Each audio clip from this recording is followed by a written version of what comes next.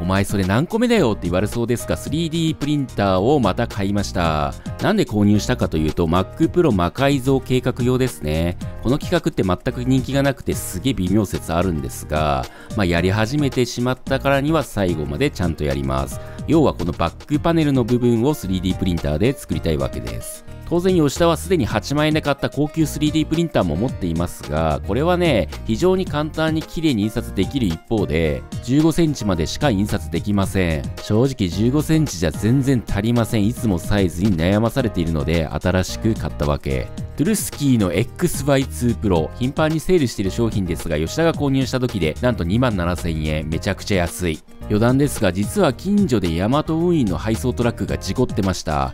うわ、ひっくり返ってんなーとか人事のように眺めていたんですが、実はそのトラックに、これ積まれてました。ボッコボコでしょ？室内でミキサーされたらしいんですが、この場で荷物に問題がないか確認してくれとか言われたんですけど、簡単に言うけど 3D プリンターだからそんなこと無理だよ。ってことで、泣き寝入り。しかも2回目なんですよね、ヤマトのトラックが事故ってボッコボコになったの。さすが毎年交通事故死全国1位を争っている愛知県。道路が完全にマリカー状態なんで、マジでしょっちゅう事故ってますよ。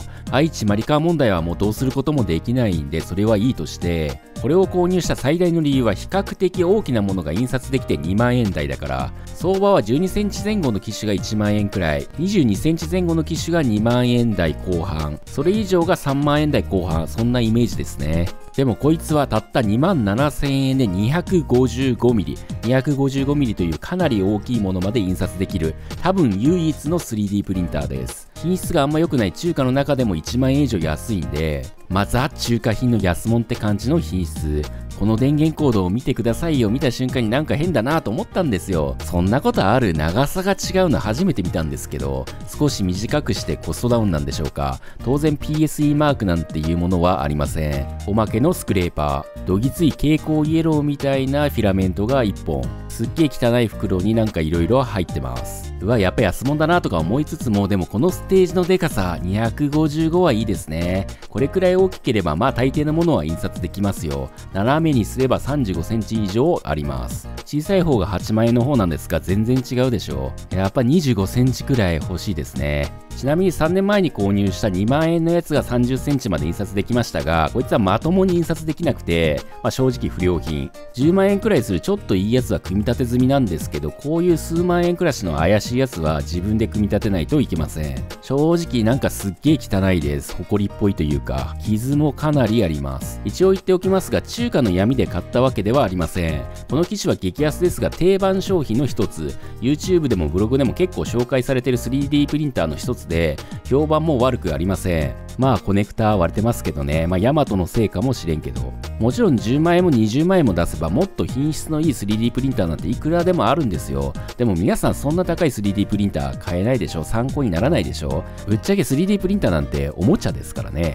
で、まあちょっといまいちなのはマイクロ SD カードなんですよね。USB のがいいわ、普通の USB。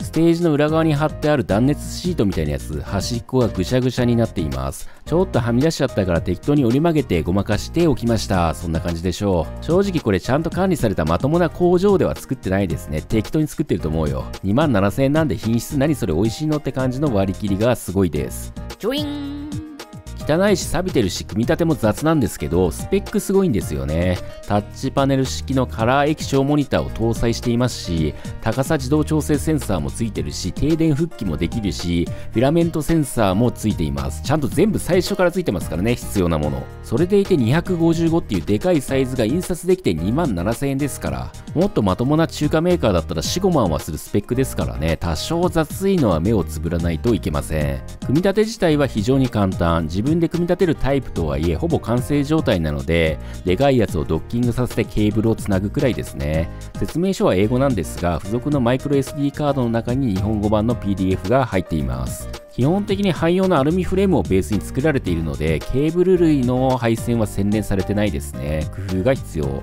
ステージのシートは柔軟性があるタイプで外せます。死ぬほど品質が悪いダブルクリップが付属しているので、それで4箇所固定です。当然このシート消耗品なんですが、Amazon で純正品は売っていませんでした。まあ、パチモンは220、1個小さいサイズなら結構売っているんですが、255という大きいサイズは入手性が悪かったです。300のやつをぶった切るか吉田はアリエクでパチモンを1800円で買いました。安いくせに自動レベリングがついているのでステージの傾きを16箇所自動的に測定してくれます。その数値を見て傾きを0.8以下に調整しろと説明書に書いてあります。具体的な数値が出るので分かりやすいですね。まあそうは言ってみたものの結局昔ながらの紙の厚みで調整するアナログ方式の方が分かりやすいです。数値だとどれくらい回せばいいのか分からないですし時間もものすごくかかります。あとねなるべくゼロにしたくなるじゃないですか数値だと。そのせいでね全然調整が終わりません。紙の場合は若干引っかかりがあるくらいにくるくる回せば OK なので瞬殺で調整終わります。このアナログ調整をした後にさっきの測定をするとちゃんと規格値内に一発で収まりました。さっきの調整は傾きの調整で Z 軸の高さ、まあ、クリアランスですね。クリアランスは中心部分で別途調整します。レベリングセンサーがあるので印刷する前に自動的に高さ測定をして常に一定のクリアランスを保ってくれます。ただね、インターフェースがマジクソですね。数値が出ません。8万のやつは0.1とか表示されたので、ちょっと高いな、調整したいなって時は分かりやすかったんですが、これは出ないからよくわからないんですよ。しかもね、これ、この画面を起動するたびに位置がリセットされます。前回の位置を記憶してくれてなくて、毎回毎回初期位置からまた調整のし直しです。1段階上げたいだけなのに、また最初から調整なんですよね。前回設定したやつ呼び出せよって思うんですが、そういうことはしてくれません。フィラメントは Amazon で1800円くらいの激安カラフルフィラメントを買いました。ちなみに PL フィラメントは正直ね、どれでも大差ありません。純正とかクソ高いんで絶対買わない方がいいです。パチモンで十分。あとファームウェアのバージョンが違うんだと思いますが、説明書と実機の画面が全然違うんですよね。なので説明書読んでも全くわかんないんで勘で操作したんですが、これはね、多分やり方間違ってます。これ余熱モードってやつで、説明書もこのやり方を解説しているんですが、多分間違ってます、説明書。日本語が終わっていて正直英語版の方がわかりやすいんですが、正解は材料、余熱ではなく材料って方みたいです。こっちだとフィラメントの送りとか戻しもできますし、温度も連打しなくても自動的に推奨温度まで上が上がります。説明書もなんか適当なんだよね、作りが。フィラメント残量センサーの部分に突き刺して送ります。激安なんですけど、ちゃんとなくなると自動で止まるんですよね。で、右のやつがフィラメントを送るためのモーターです。あの、レバーみたいなやつを押すと入っていきますが、作りが悪いのかなかなか入っていきません。なんか引っかかるんですよね。ガチャガチャやってるとそのうち入ります。この機種は手で送り込むことができるのですぐに交換ができていいですね。自動だとね、時間かかるんですよ。送るのが遅いから。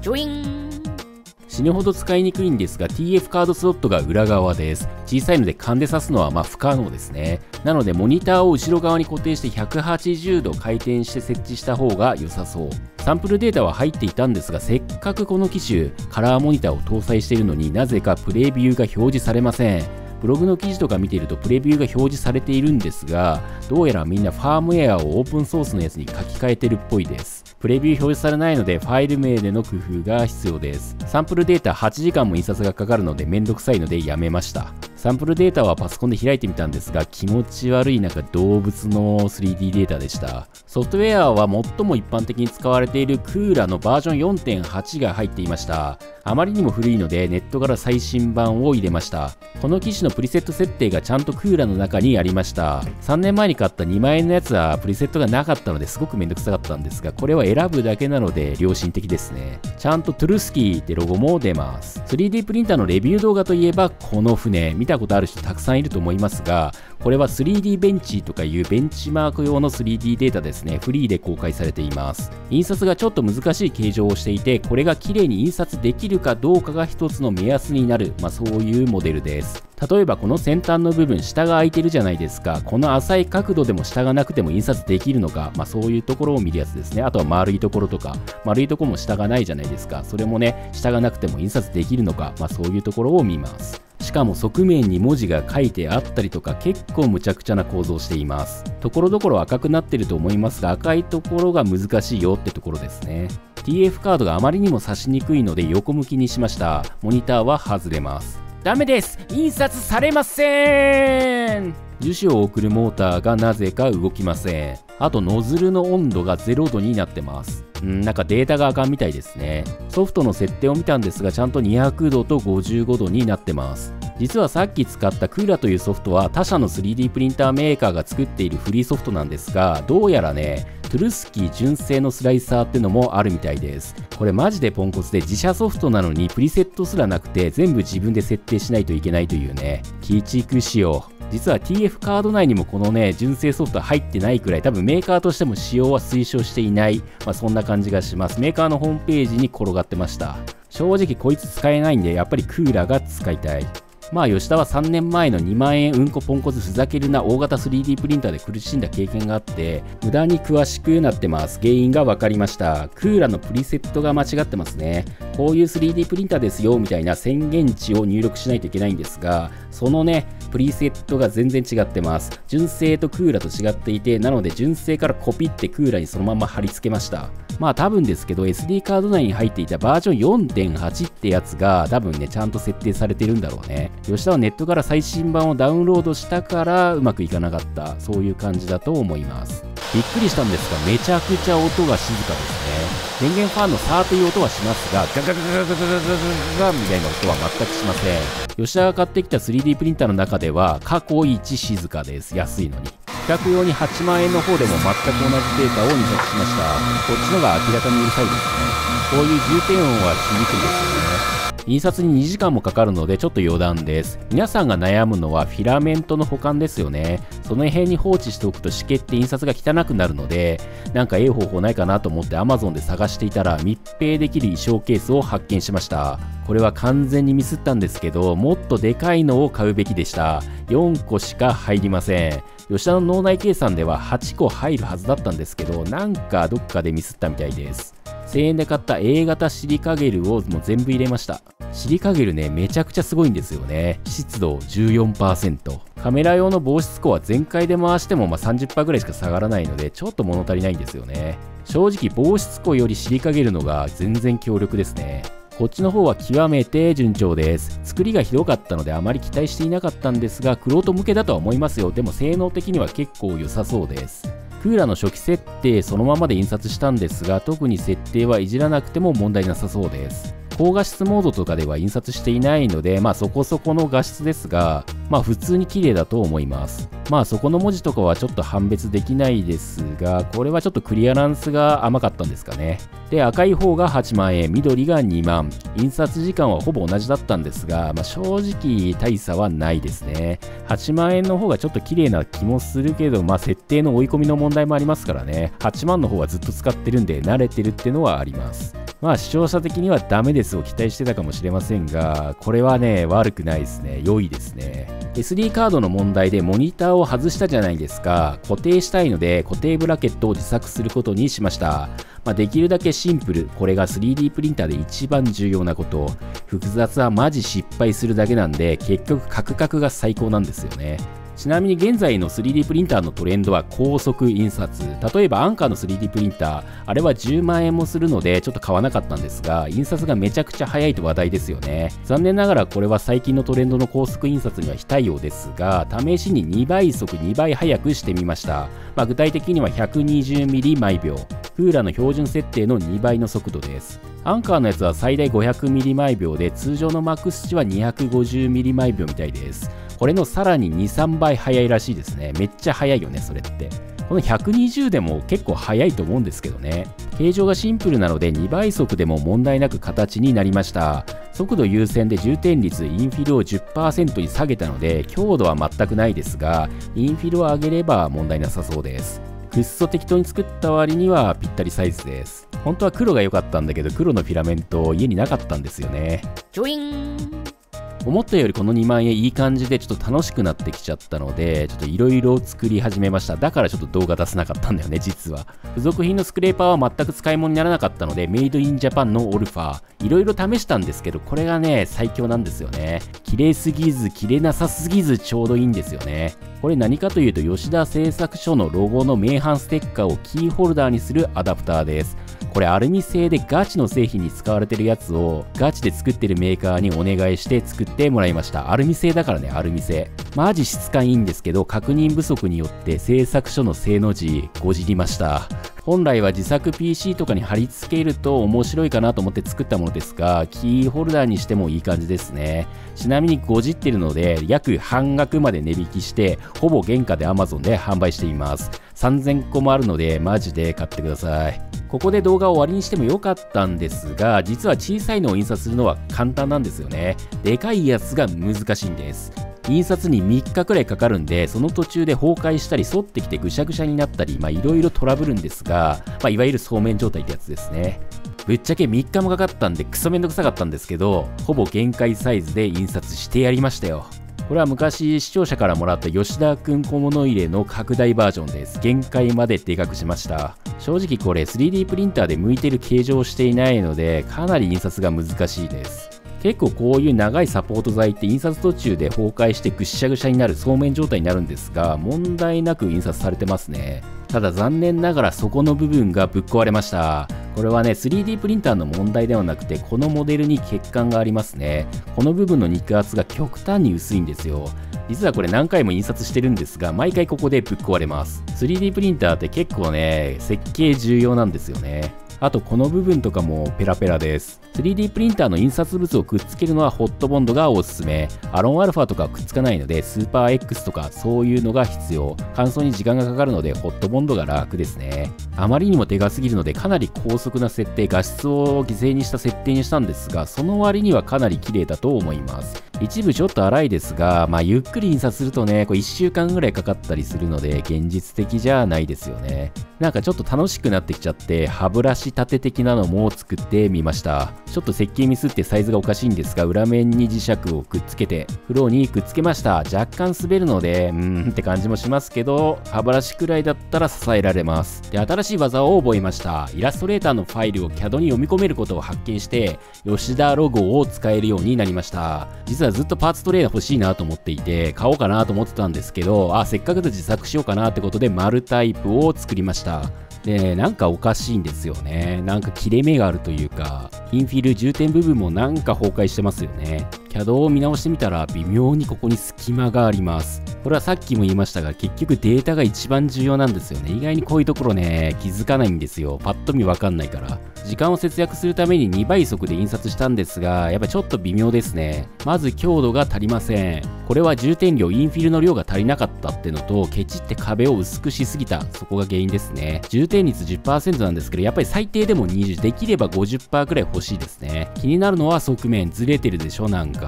これは2倍速で印刷したので、速度に追いつけず、ステッピングモーターのステップが2、3ステップずれたんだと思います。おそらくですけどノズルが引っかかった時に速すぎてモーターのトルクが足りなかったまあそういうことなんでしょう。なんやかんや設計変更を行ってフィラメントがなくなったので新しいやつを買いました。カラフルフィラメント気に入ったので他のメーカーのやつ買ったんですがちょっと色が違いますね。こっちの方が光沢感があって高級感あります。値段は1700円ちょっとだったと思います。安い。